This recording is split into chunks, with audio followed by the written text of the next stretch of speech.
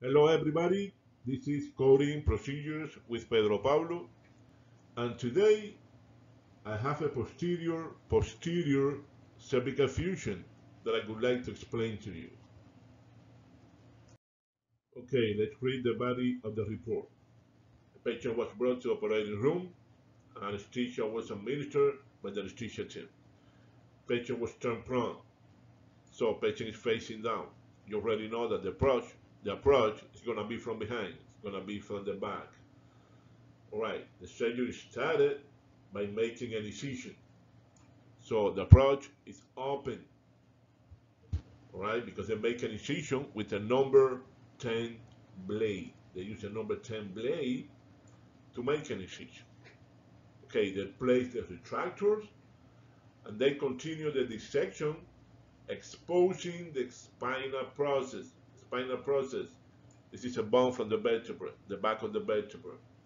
All right, these are the level. Cervical 5, cervical 6, C5, C6. That's one level, one joint. C6, C7, another joint, another level. And C7, T1, that's another joint. So we have three joints, three level, right? Two cervical, one cervical thoracic. All right, we continue reading.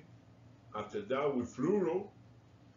Uh, the fluoro guidance, anatomical normal, we place a lot. Okay, they place the screw right here. Again, a screw, they have to bring the spinal cord to its original position to perform any any any any repair or any procedure. They need the original position. That's the purpose of the screw and the purpose of the fixation. This is not open reduction internal fixation. They, they're not doing any repair. They, they just have to stable, stabilize the spinal cord. So pedicle screws were placed successfully. Okay, all the screws were placed successfully. Uh, we then continue reading, we then proceeded with using the high drill right on the, dissection of, on the fluoroscopy guidance, and then they completed a laminectomy. All this is approach, right? They had to do this to do the fusion. Discectomy not done this time. This is posterior, posterior to spinal cord, right? C5, C6, C6, C7, and C7, T1. Okay, the, the, the continue reading. The calcified uh, uh, uh, ligament was removed, and uh, and the foramina was opened bilaterally to ensure to ensure the decompression. All right. Okay, after the decompression was completed, allograft and autograft enhanced fusion was done using the patient's own localized bond. So this is autologous. And DBM bone matrix. This is non-autologous. So we have posterior posterior of the C5 and C6 and C6 and C7 with autologous tissue.